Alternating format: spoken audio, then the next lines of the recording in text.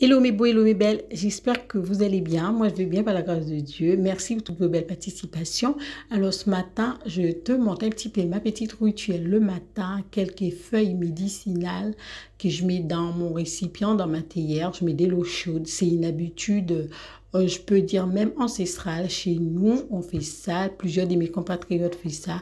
Et ma mère m'a éduquée comme ça et ça nous a fait que bien. Alors voilà, si tu veux savoir quelle feuille que j'utilise, mais tu me demandes en commentaire. Mais je te dis, ça n'apporte que du bien au corps, aux à l'organisme de prendre des l'eau chaude avec des feuilles médicinales ainsi le matin. Alors, je mets mes feuilles dans le récipient que je mets dans la théière. Et la théière est spécifiquement pour faire du thé. Et après, je fais bouillir mon eau dans le bouilloire et je renverse dedans. Je laisse reposer 5-10 minutes, voire plus. Et après, je bois.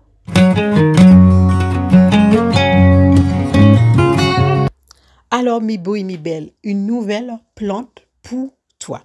Alors, cette plante s'appelle Kouachi. C'est une plante qu'on trouve en Guyane française. C'est une plante qu'on utilise pour soigner le palu et la dengue. C'est une plante qui est très amère. Elle est caractérisée par son amertume. Et cette plante, on peut l'utiliser comme euh, fébrifuge. C'est une plante qu'on utilise pour traiter des problèmes intestinaux. Et aussi, cette plante, on peut utiliser les feuilles en frottant les feuilles sur ton corps. Ça va pouvoir repousser les parasites les moustiques si tu es dans une forêt amazonienne ou une forêt tropicale. Et cette plante, on peut utiliser l'écorce en macération avec de l'alcool. Alors, cette décoction, tu peux l'utiliser aussi pour boire.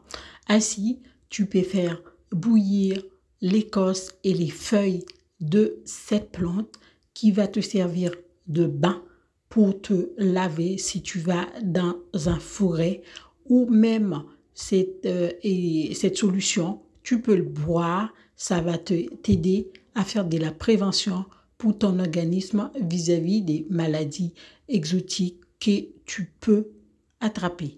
Alors moi personnellement, cette plante, je l'ai utilisée une fois que j'avais fait un voyage en Guyane. La plante, elle m'a été très bénéfique. En attendant, prends soin de toi et puis je te dis à bientôt pour une nouvelle vidéo.